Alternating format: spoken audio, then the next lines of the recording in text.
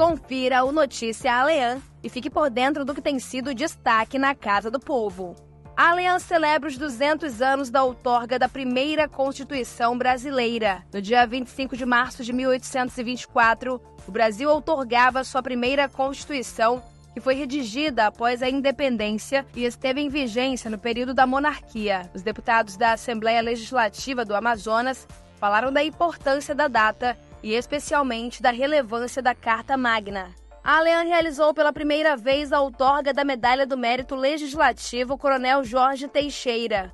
A cerimônia celebrou os 60 anos do Centro de Instrução de Guerra na Selva, o SIGS. A medalha é uma honraria concedida em homenagem aos militares de carreira das Forças Armadas, Forças Auxiliares e autoridades civis que, por dedicação, abnegação e capacidade profissional, tenham prestado bons serviços ao Amazonas e, em especial, ao SIGS.